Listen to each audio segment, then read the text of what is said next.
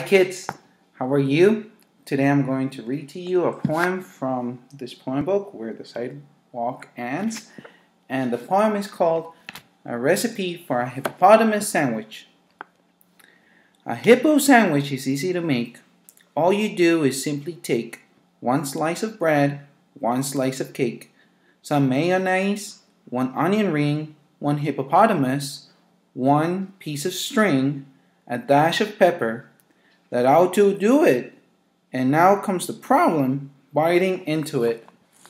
Well, kids, I hope you like it. Bye.